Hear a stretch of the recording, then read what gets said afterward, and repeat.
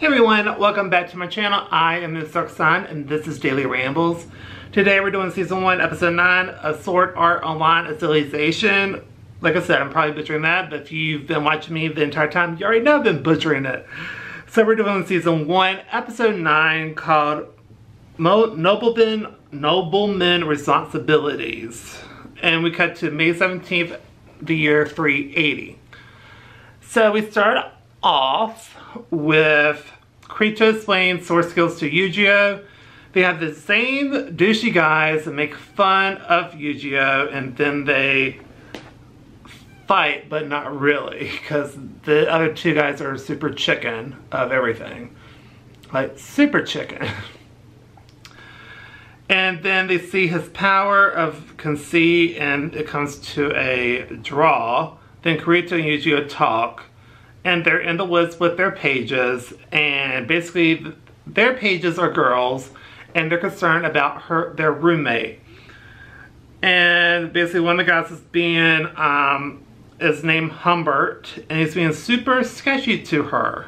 Like they allude to what they're being sketchy about but they don't outright say it. But still it's like hella gross. Like just gross. So uh, Kirito and Eugeo said they'll handle it. And so they go to talk to the guys. And they don't care. at all. And then Eugeo threatens to uh, tell the higher ups. And then Kirito warns Eugeo. And he said like it might be a trap. Like you probably don't want to do that.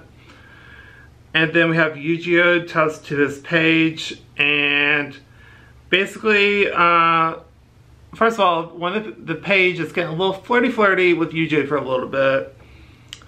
And, but she is afraid of the creeper from a husband because apparently since they're noblemen, they can marry whoever they want.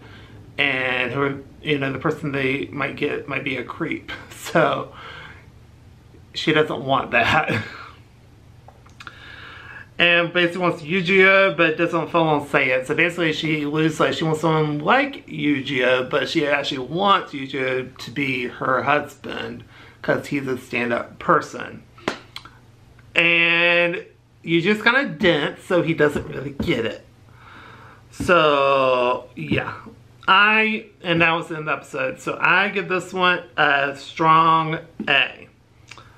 Uh, it's just the, the creeper people, I'm just like, when they go into creeper mode on the show, they get super scary and the animation gets a little more sinister-like, which I understand is, is understandable, but they go to a step above where I'm like, uh, no, but I mean, overall, like they, they've always done that type of approach with this entire uh, series.